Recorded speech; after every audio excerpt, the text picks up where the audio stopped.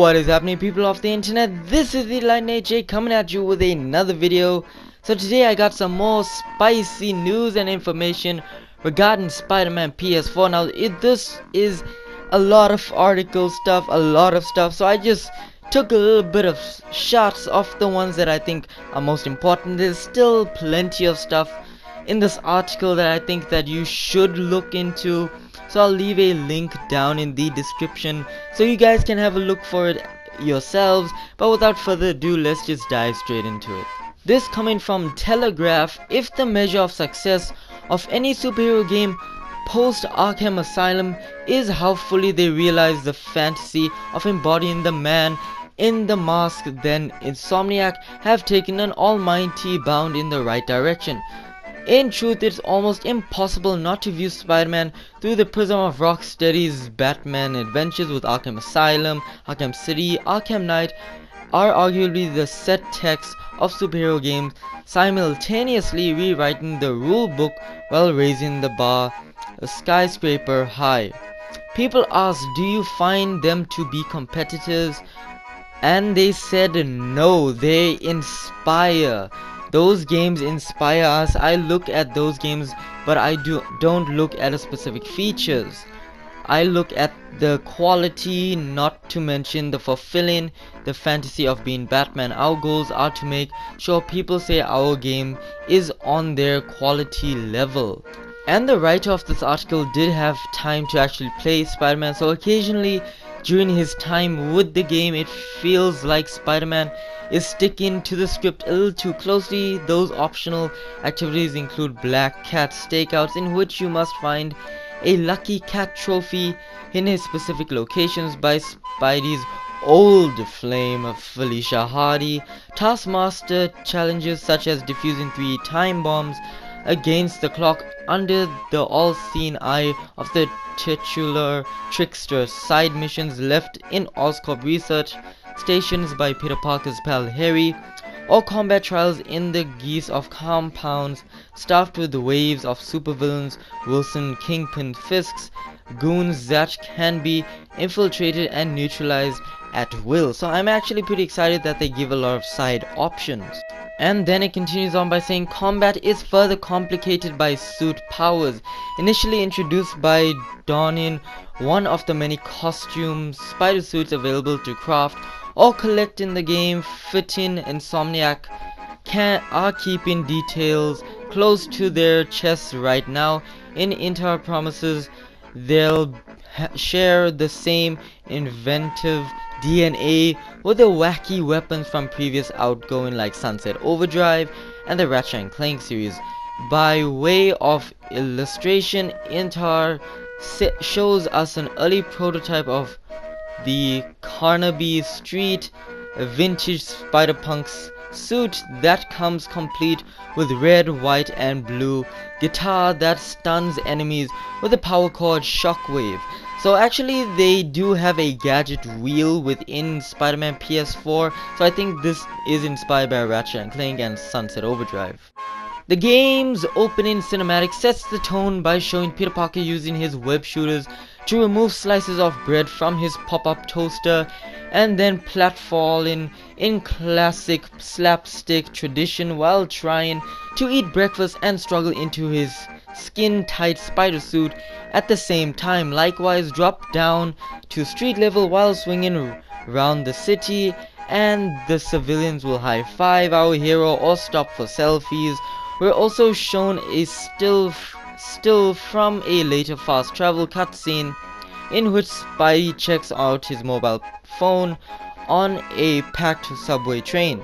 While Intihar demos the first half of the game's first story mission, it's noticeable that the action is accompanied by dynamic running commentary courtesy of Peter Parker's insistent uh, internal monologue.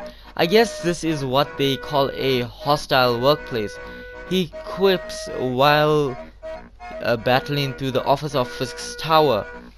Is this tech support? He asks often crushing into a service room and I forgot my password. At one moment Peter takes a call from Aunt May while crawling up the lift shaft and explains a way to the background noise in telling her he's watching a superhero movie and actually I am really excited for this because that means there's gonna be a lot of comedy just like how we all know Spider-Man is. But it continues on by saying the game script currently stands at around 400,000 words or the combined length of three Lord of the Rings novels for comparison and leads writer John Pacute assures oh shit I think I butchered the name sorry uh, John but you know what? He assures me his team have discarded the same again during production lead actor Yuri my boy Sasuke uh, jokes that he recorded a zillion lines while pulling double duty as the game's dual leads.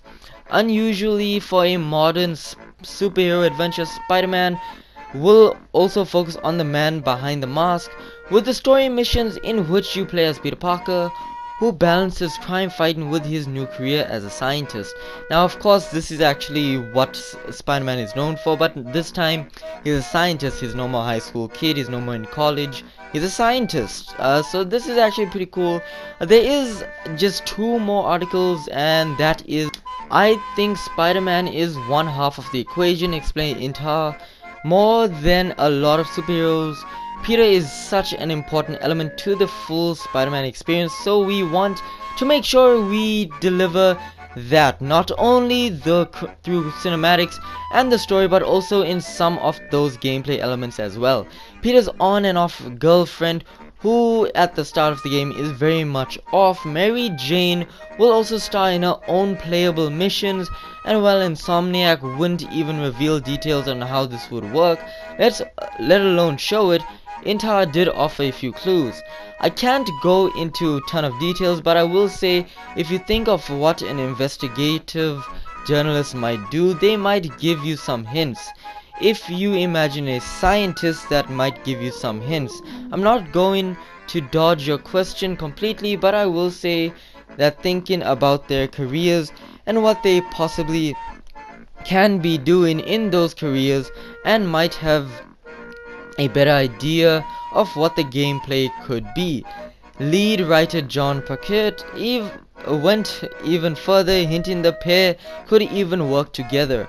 Now actually this could be a reference to possibly investigative skills I think if you had to play as Mary Jane uh, it would be more investigative because we all know journalists they are nosy they have to be it's part of the job so I think that Mary Jane would be more detective-like, uh, possibly like Batman's detective stuff in the Arkham series. But honestly, I do not know how Mary Jane will play out. I don't think there'll be, be that much combat. Mostly investigation, but they did say it's not going to be a walking simulator, so you know what? I'm having high hopes for this Mary Jane stuff. And then the final part of this article.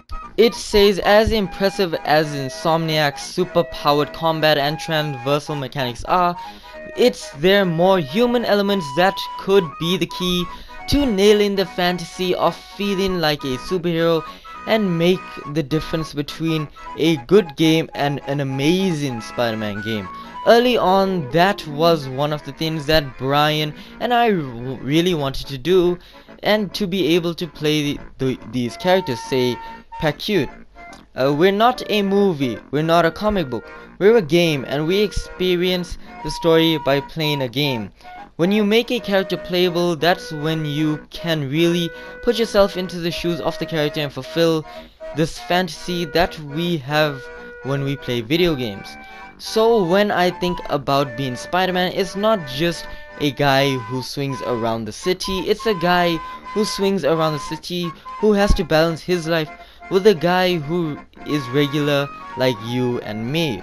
Last summer, Sony chief Shawn Layden told The Telegraph Spider-Man would be a key factor in propelling the PlayStation 4 console over the 100 million sales barrier. So there's certainly a lot riding on Insomniac and Intihar to get it right. And yes, there is plenty more articles I may have missed that is possibly more interesting, I don't know. But these are the ones that interested me the most. There's still a lot to, for you to see, so you guys can go check it out. I'll leave a link in the description down below, so you guys can check it out and see it, the whole article for yourselves. Anyway guys, that is it for this video. Please do leave a like, helps me a lot. Comment down in the comment section down below uh, your thoughts on all of these. Are you excited for the Spider-Man PS4 game? I know for a fact I am. Uh, subscribe to become a fellow Lightning Bolt. Share with friends. Subscribe for more Spider-Man news updates, Final Fantasy, Kingdom Hearts, all of that juicy stuff. Subscribe to become a fellow Lightning Bolt. And anyway guys, that is it for this video and as always, this is a Lightning Blaze out.